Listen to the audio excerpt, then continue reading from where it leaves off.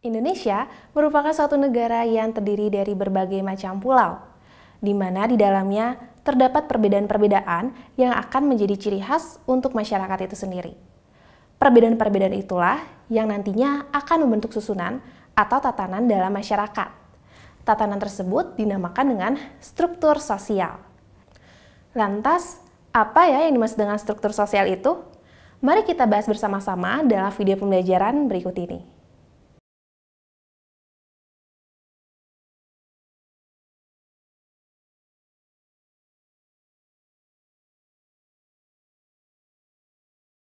Assalamualaikum warahmatullahi wabarakatuh. Halo semuanya. Di video pembelajaran kali ini, bersama aku, Anzani Mutiara, akan membahas tentang bentuk-bentuk struktur sosial. Tetapi, sebelum kita membahas lebih lanjut, kalian harus tahu dulu nih, kira-kira apa ya pengertian dari struktur sosial itu?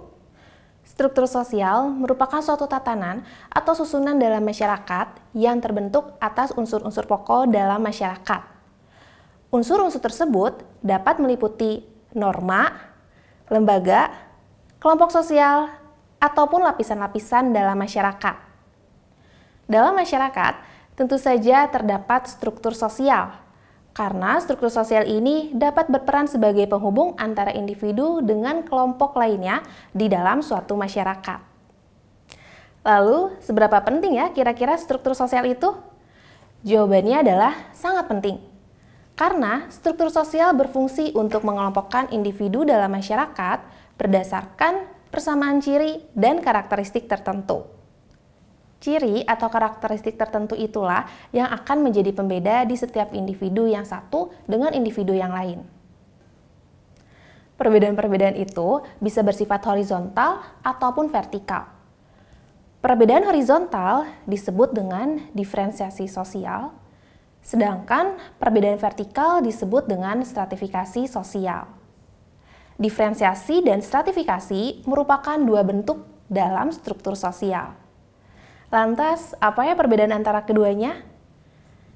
Diferensiasi sosial adalah perbedaan individu yang tidak terdapat kelas sosial di dalamnya dan tentu saja bersifat horizontal atau setara. Artinya, perbedaan-perbedaan itu memiliki kedudukan yang sama, seperti perbedaan ras, agama, suku, ataupun jenis kelamin.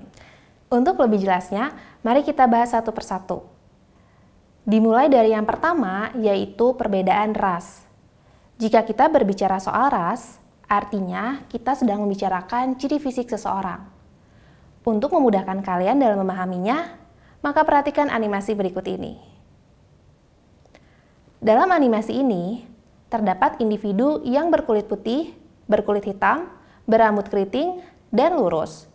Semua itu merupakan ciri fisik seseorang yang nantinya akan membedakan antara individu satu dengan yang lainnya. Tentu saja perbedaan pada fisik seseorang ini dapat dipengaruhi oleh banyak faktor. Salah satunya adalah gen atau keturunan. Nah, ciri fisik inilah yang disebut dengan ras. Klasifikasi ras yang tersebar yaitu ada ras Mongoloid, Negroid, dan Kaukasoid. Tentu saja di setiap ras tersebut terdapat ciri khas yang unik, sehingga tidak ada ras yang lebih unggul. Semua memiliki derajat yang sama, yaitu sama-sama baik. Jadi, perbedaan ras termasuk ke dalam pembeda yang sifatnya setara atau diferensiasi sosial. Coba sekarang kalian perhatikan lingkungan sekitar tempat tinggal kalian. Apakah mereka berjenis kelamin yang sama atau terdiri dari agama yang sama? Tentu saja tidak, bukan?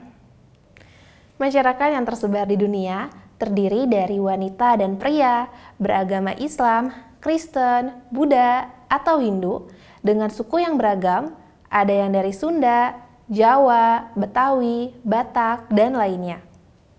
Pembeda-pembeda tersebut sifatnya setara loh. Kenapa ya kira-kira? Karena di antara pembeda tadi tidak ada yang lebih baik ataupun tidak ada yang lebih buruk. Semua memiliki kelebihan dan keunikannya masing-masing. Sehingga suku, agama, dan jenis kelamin termasuk ke dalam diferensiasi sosial. Nah, berbanding terbalik nih dengan stratifikasi sosial. Jika diferensiasi merupakan pembeda yang bersifat horizontal, maka stratifikasi merupakan penggolongan yang bersifat vertikal. Artinya, terdapat tingkatan di dalamnya. Dalam stratifikasi sosial, ada sesuatu yang dihargai oleh orang lain. Dasar yang digunakan untuk menggolongkan masyarakat dalam stratifikasi sosial yaitu kekayaan, kekuasaan, keturunan, dan pendidikan. Stratifikasi sosial juga dikenal dengan istilah pelapisan sosial. Pada konsep stratifikasi sosial, masyarakat diibaratkan seperti kue lapis. Kue lapis menjadi utuh karena terdiri dari lapisan-lapisan yang membentuknya. Ada lapisan yang berada di bawah, di tengah, maupun di atas. Begitu pula dengan masyarakat. Ada individu yang berada pada lapisan tinggi, ataupun ada individu yang berada di lapisan rendah. Dalam hal ini, Konsep stratifikasi juga erat kaitannya dengan konsep kelas sosial. Terdapat individu yang dikategorikan berasal dari kelas atas, kelas menengah, ataupun kelas bawah. Kelas sosial individu dilatar belakangi oleh kekuasaan, kekayaan, dan prestis. Secara lebih rinci, kelas sosial diartikan sebagai kumpulan individu dengan kesamaan karakteristik yang berada pada lapisan sosial tertentu. Jadi, jangan sampai lupa ya adik-adik, Diferensiasi merupakan pembeda yang bersifat horizontal atau setara, sementara stratifikasi sosial merupakan pembeda yang bersifat vertikal.